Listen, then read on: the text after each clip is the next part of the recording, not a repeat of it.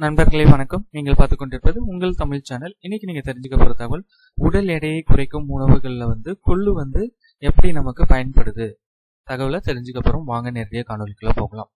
கொள்ளு வந்து வெப்பத்தை ஏற்படுத்தும் தன்மை இருக்கு.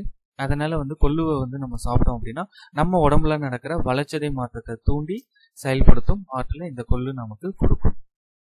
குளிர்காலத்துல வந்து சிறந்த உணவு இந்த கொள்ளு.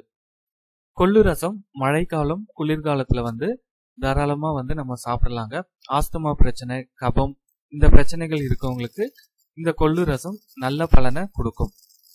உடல் பருமனால ஒரு சில பிரச்சனைகள் வந்து நமக்கு ஏற்படும். அதாவது மூட்டுக்கல்ல தேய்மானம் இதயத்தின் ரத்த ஓட்ட பாதிப்புகள். இந்த பிரச்சனைகளுக்கு கொள்ளுவை வந்து நீங்க உங்க உணவுல சேர்த்துட்டீங்க அப்படின்னா அந்த பிரச்சனைகள்ல இருந்து நீங்க விடுபடலாம். கொள்ளு ரசத்தை வந்து நீங்க சாதத்தோடவும் சேர்த்து சாப்பிடலாம்.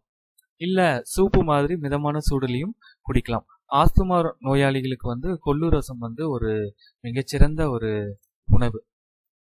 அடுத்து கணையத்துல சுரக்கும் இன்சுலின் ஹார்மோனோட செயல்திறனை வந்து கொள்ளு வந்து அதிகரிக்குது.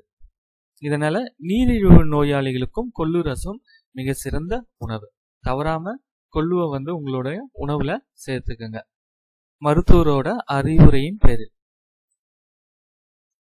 இந்த கொள்ளுவில் சஃபோனின் என்ற ஒரு வேதிப்பொருள் இருக்கு. இந்த வேதிப்பொருள் வந்து நம்ம உடம்புல இருக்கிற கொழுப்போட அளவை வந்து குறைக்குது. இதனாலதான் வந்து கொள்ளுவை வந்து தவறாம நம்ம சாப்பிடணும் அப்படின்னு சொல்றோம்.